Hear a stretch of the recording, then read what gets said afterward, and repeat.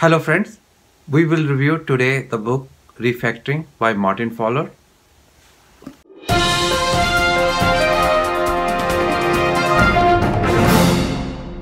Hello friends, uh, my name is Vikas Kerni. I have more than 20 years of experience in IT industry. I am TOGAF certified architect. Do subscribe to my channel for your regular updates. Today we'll be reviewing Refactoring by Martin Fowler book Couple of years back, I was given Best Performance Award by my CEO and uh, VP of Technology was standing next to her. So she said, the best performance awards goes to Vikas for refactoring. She looked towards to the VP of Technology. What is this refactoring? So BP, BP of Technology say, I don't know. I need to talk to Vikas to find out what this refactoring means.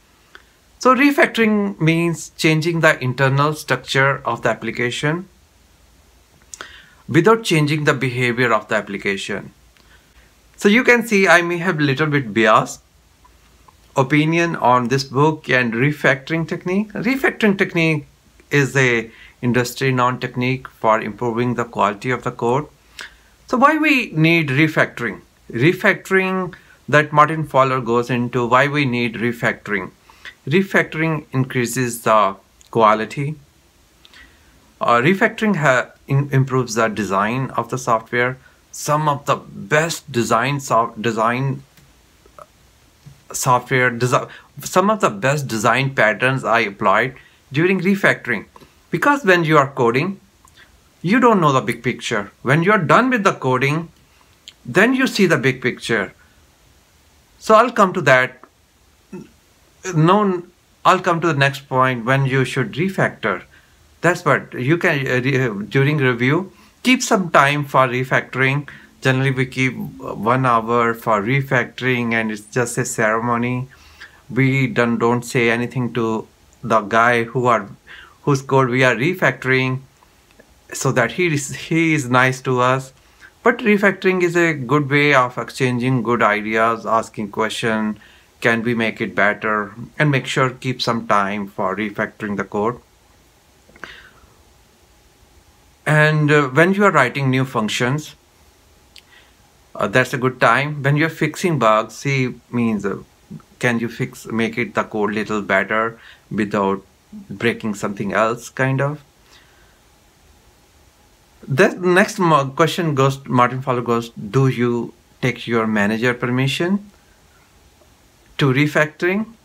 Generally, man means managers, if you say you're going to make the quality better, they're going to, oh, that's nice, quality would be better. But they are focused on delivery. They are focused on unnecessary, creating unnecessary bugs. So if you're modding function, modifying functions, Martin Fowler idea is, do you need to tell, you know, this is you're professional you you you have to make your software better.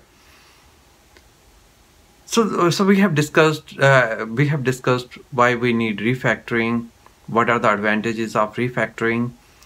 So what are the as we uh, as we see the code becomes smelly over the time so what are the three big smells uh, which i have seen my code which I inherited, and sometimes I can, I I can be accused of those crimes.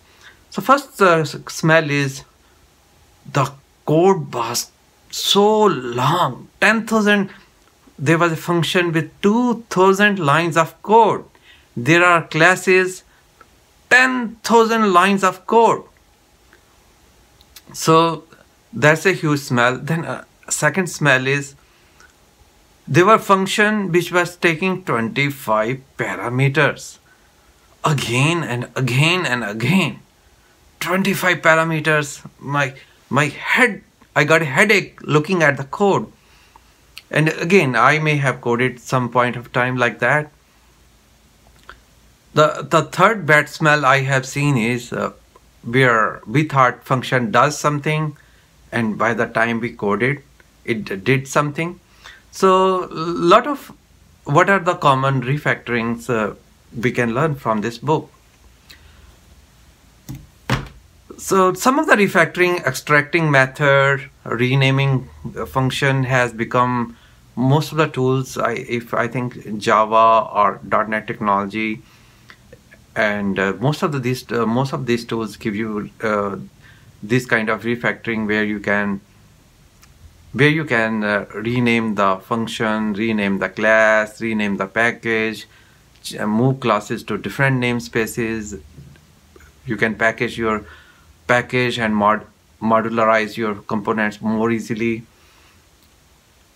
So th those kind of refactoring is very common. I would not go into that common refactorings. One refactoring I like is extract a class. So especially the one class you had where you have 10,000 lines of code. There's a printing functionality. There's a Excel functionality. You wish you could extract the classes so I'm a big fan of JetBrains ReSharper tool. Uh, I did try. I need to try their function uh, that they they give that functionality.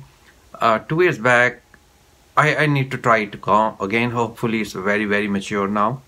So that, that that's the reason.